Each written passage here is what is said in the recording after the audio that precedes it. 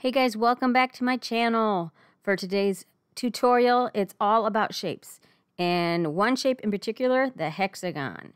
And I use the hexagon shape in multitude of different ways. And in this video, I'm going to show you how I did all of these. First, we're going to make our chocolate spheres for the toppers. I actually used candy melts. I used navy candy melts and I mixed a little bit of a black candy melt in there also to get it a real deep color. Navy is a deep navy is actually pretty hard to get when it comes to food coloring, and I find the easiest way to do that is to add a little touch of black just to kind of take it over the edge towards a deep navy. So with the candy melts, I just heated them up in 30 second increments until they had melted and all the bits had, uh, there were no bits left in it. So I transferred that into a piping bag and I'm just piping. I am actually filling, almost filling these molds all the way up. In fact, I did go back and add a little bit more. And then I just let it sit for maybe 10 seconds, 10 to 20 seconds.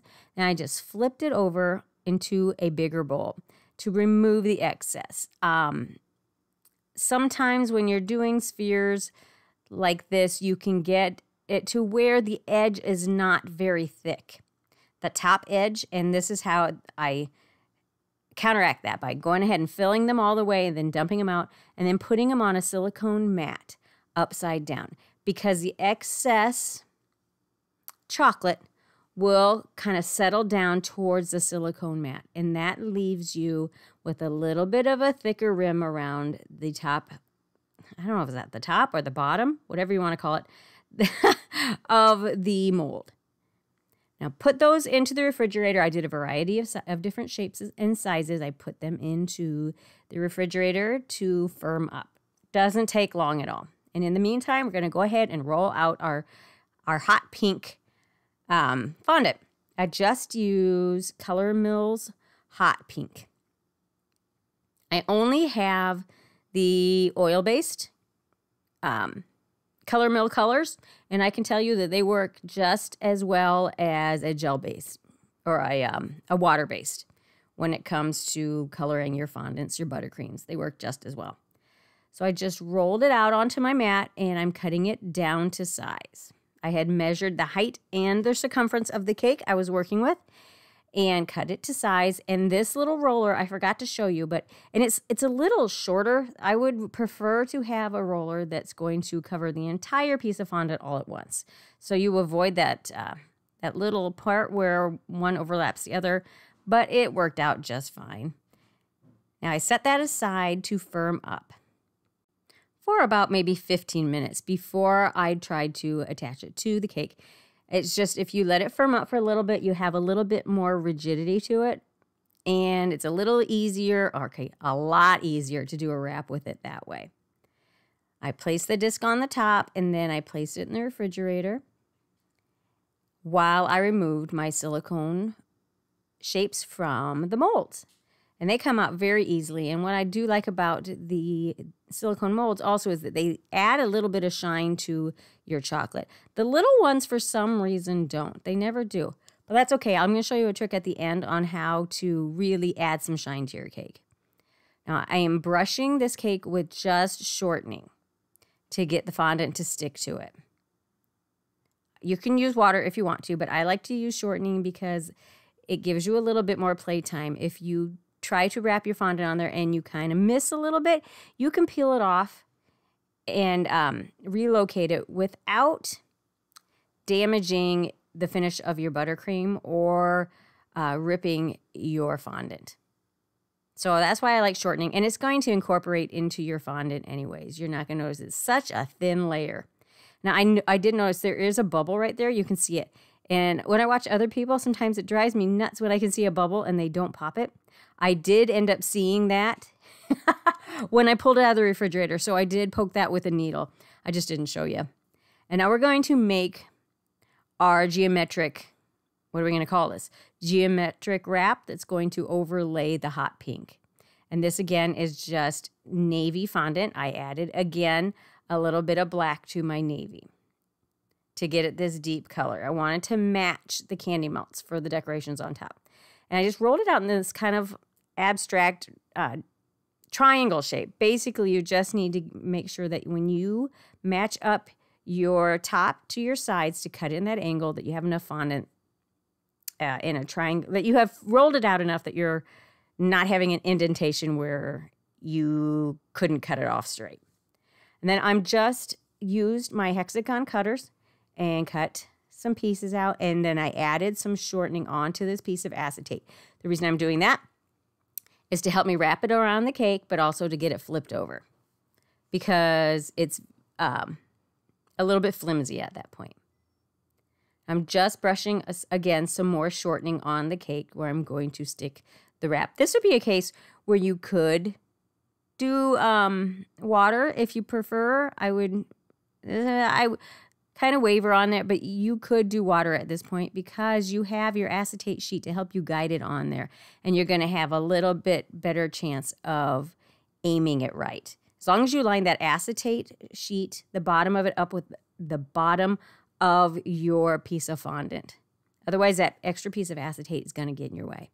And I had set it in the refrigerator with that foam dummy on top to keep, help that point dry standing up for about half an hour.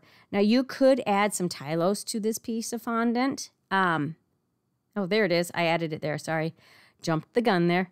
Um, you could add some Tylose to that piece to help it stand up a little bit more. If that had been for an order, I would have added some Tylose to it because as it comes to room temperature, fondant's going to soften and it's going to want to kind of, you know, bulge or fall over a little bit. So add a little Tylose to that.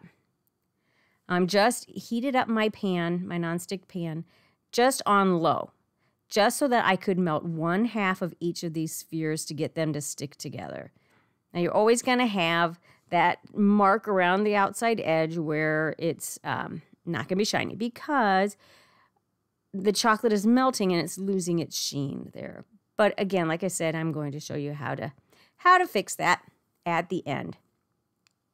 And I wanted to try this technique where you melt shapes into your spheres. And I had an inspiration picture. I, was, I don't know who did it, but they did it with circles. But I'm sticking with my hexagon pattern here. And you just heat it on your on your pan and the heat from that is going to be enough with very little effort, just kind of hold it in place there to punch those holes through. Um, you just let the heat do the job for you. Now, of course, thought the camera was on. This happens every once in a while. But I'm basically just using some more of the melted chocolate or melted candy melts to get our decorations to stick to each other so you can get this abstract kind of little mountain mound of decorations. Now, I don't have the chocolate spray the chocolate firming, you know, that spray. Oh, what's it called? Can't remember what it's called, but it it dries your chocolate faster. So I just had to hold those on while while they um, dried. Candy melts don't take very long. Again, for that, candy melts dry faster than chocolate. Chocolate, you would have to hold it a lot longer. But it just maybe 30 seconds, and they had uh, it had dried enough to where they stuck together. And I just added some to the bottom and just a few to kind of tie the top in with the bottom. Again, just sticking these with some of the melted candy melts.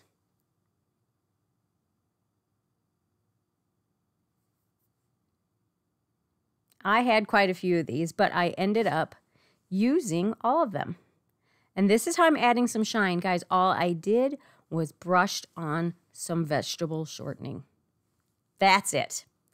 Now it's going to be very shiny at first, but as it sets, like if you set it in your refrigerator overnight to set up for pickup the next day, they will dull out a little bit.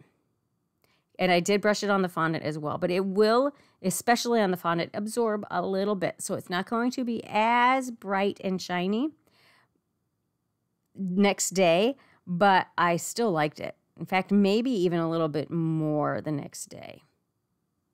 Just depends on your preference. Now we're wrapping this up here, guys, but I want to remind you this is our end product.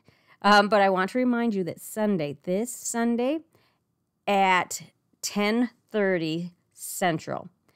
Addie, my boss, and one of my very best friends, um, and I are going to do a live on my channel. So don't miss it. And thanks for watching the video. We'll catch you next time.